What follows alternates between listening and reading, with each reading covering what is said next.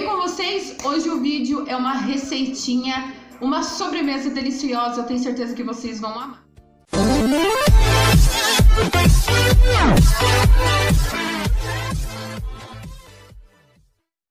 Bom, gente, eu vou fazer uma receita super gostosa hoje e eu tenho certeza que vocês vão amar, que é um bombom na travessa, tá? Essa receita é super rápida, super fácil, então se vocês gostam desse tipo de vídeo, já deixa um like aqui, se inscreva no canal se você ainda não é inscrito e vamos para a receita.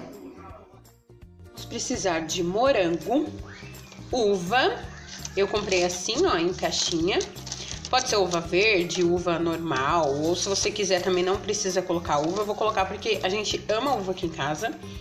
Creme de leite, eu vou usar duas caixinhas de creme de leite, uma é que eu vou derreter o chocolate, depois eu vou usar no creminho, maisena e duas latas de leite condensado, leite e dois ovos. Na realidade, nós vamos usar duas gemas, tá? Então, esses ingredientes que nós vamos precisar para fazer o doce. Bom, gente, agora a gente vai fazer o nosso creme, tá? Esse creme é o que vai primeiro no refratário pra gente depois acrescentar o bombom, a uva e por cima o chocolate. Então a gente vai colocar todos os ingredientes na panela com ele frio para ele não empelotar por causa da maisena, tá? Eu deixei todos os ingredientes certinhos aqui na tela para vocês anotarem depois, tá?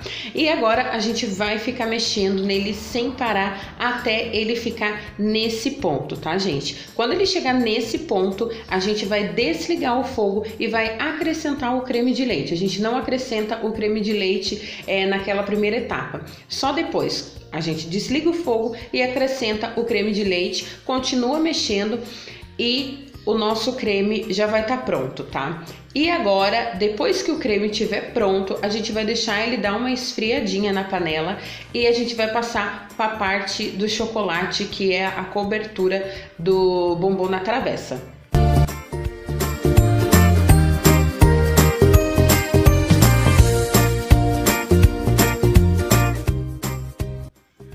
Com o nosso creminho pronto, eu já vou colocar ele no meu refratário, mas vocês podem usar taça. Qual vocês estiverem na casa de vocês, já separei as frutas e agora eu vou derreter o chocolate. Eu faço todo o processo no micro-ondas, eu vou colocando de 20 em 20 segundos, coloco 20 segundos, abro o micro-ondas, dou uma mexidinha e depois eu volto com ele mais umas três vezes no micro-ondas e ele já vai estar tá todo derretido, gente.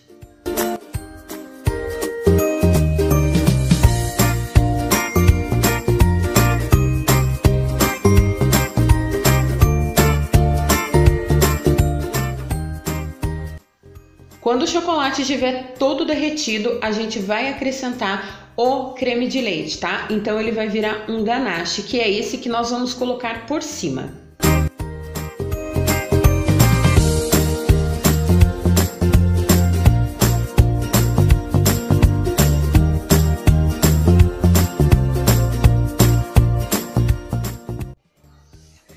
Cortei os morangos em rodelas e deixei uns maiores para a gente estar tá decorando a parte de cima. Então, em cima do creminho branco, nós vamos colocar morango e uva, tá? Como eu falei, a preferência de vocês, se vocês quiserem só colocar morango ou só uva, não tem importância. Então, nós vamos cobrir toda essa parte com o morango e com as uvas.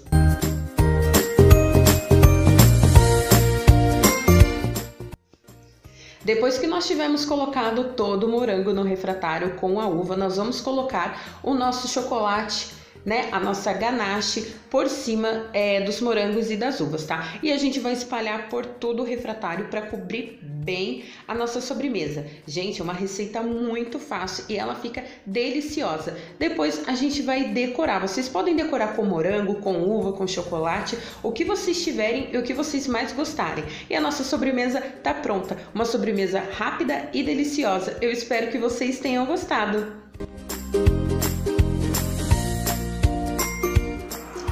Espero que vocês tenham gostado. Não se esqueça de deixar seu joinha, se inscrever no canal aqui embaixo. Um beijo para vocês. Até o próximo vídeo. Tchau!